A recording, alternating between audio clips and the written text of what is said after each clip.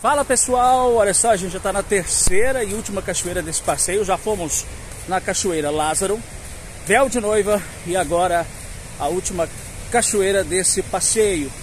Por essa trilha aqui, por esse acesso, há um tempo atrás, a cantora Sandy, juntamente com o elenco da novela Estrela Guia, eles passaram para aqui gravarem uma das cenas marcantes da novela das seis, que foi sucesso. É aqui na Cachoeira Santa Maria que Sandy gravou uma dessas cenas especiais. E a gente está descendo, fazendo o trajeto que um dia a cantora Sandy já fez para gravar a cena dessa novela. E olha só, o local aqui é realmente lindo. Em meio, lógico, a cachoeira, o cerrado, tem areia. Areia clarinha e aqui está o paraíso. O paraíso que serviu de pano de fundo para uma das gravações da novela das seis, Estrela Guia. O local realmente é lindo, encantador. Veja só aquilo ali.